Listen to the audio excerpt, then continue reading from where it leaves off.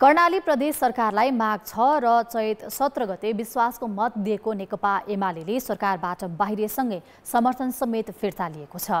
प्रदेशका मुख्यमन्त्री राजकुमार शर्माले तेस्रो पटक प्रदेशसभाबाट विश्वासको मत लिनुपर्ने भएको छ।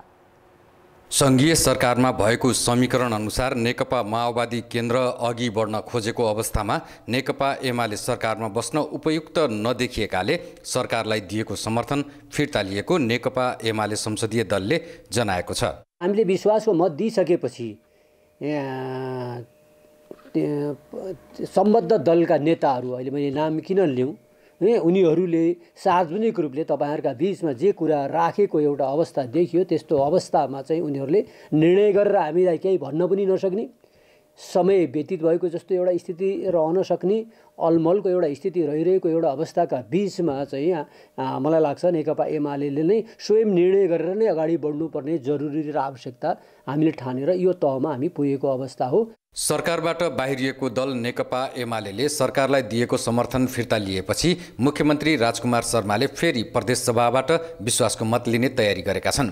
केन्द्रीय सत्ता साझेदार दलहरू बीच नै समीकरण गरी नेपाली काङ्ग्रेसलाई सरकारमा ल्याउने तयारी समेत गरिएको नेकपा माओवादी केन्द्रले जनाएको छ। नेपाली काङ्ग्रेसलाई नेकपा एमालेलाई दिएका तीन मन्त्रालयमा चित्त बुझाउने गरी बाँडफाँड गर्ने तयारी छ। मन्त्रालयको सन्दर्भमा त अब अहिले जे छ त्यो अनुसार नै अगाडि बढ्छ। विशेष गरेर अब तिनवटा मन्त्रालय नेपाली काङ्ग्रेसले लिएर जाने। बाँकी अरू अब पदाधिकारीको बारेमा बिस्तारै छलफल हुँदै जान्छ। कर्णाली प्रदेशमा नेपाली काङ्ग्रेसले ठुलो दल भएकाले नेतृत्व नै दावी गरेको छ। ठुलो दलको हैसियतमा कि नेतृत्व दिनुपर्ने कि मन्त्रालय बढाउनु पर्ने गरी छलफल गर्ने काङ्ग्रेसले जनाएको छ।